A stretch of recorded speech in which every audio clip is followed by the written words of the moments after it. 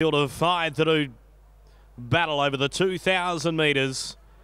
There they go. They're on their journey now. Piero Pan was the slowest one into stride. Breaking best was Chestnut Thunder, who is going to lead early, but all too Creedy generally likes to take up supremacy, but he's going to have a little bit of company today. Chestnut Thunder is keen to push on with the job, and Piero Pan from the slow start was keen to kick up and hold its spots. So all too Creedy second, Piero Pan is third.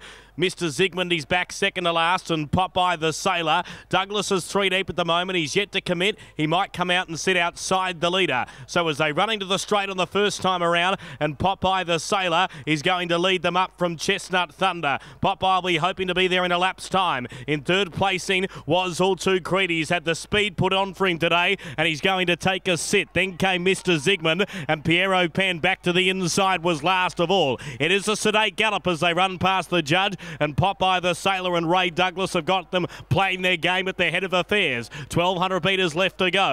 In second spot was Chestnut Thunder, and Piero Pan is over on the inside and has all too Creedy the outer to cover him up. And last of all was Mr. Zigmund, and top end of tail, the margin would be five. A thousand metres left to go, and Popeye the Sailor, first time to the trip this afternoon, runs along and goes out a length and a half. Chestnut Thunder in second spot, and they seem to be content to hold their positions at the moment. That includes all too Creedy in third spot. Piero Pan the inside in fourth, and Mr. Zigmund is last. There is no change to the play as they run along the back of the track. Popeye the Sailor, he's had his chance to run out the trip. Douglas starts to ramp things up once again. 600 metres left to go. He leads out a half length on Chestnut Thunder, who's running second. Two lengths away to all too Creedy in third. Mr. Zigmund was next, and Piero Pan was last of all. Popeye the Sailor's been headed by Chestnut Thunder, who was left in front and went running for home. The margin of length, what's Popeye got? Can he come off the bit? Then came Mr. Zigmund, who circled around the field.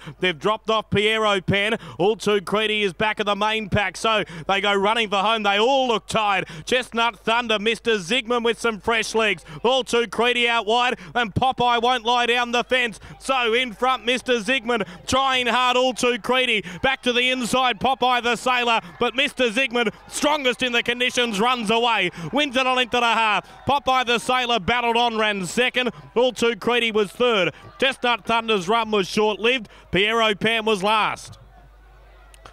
Mr. Zigmund.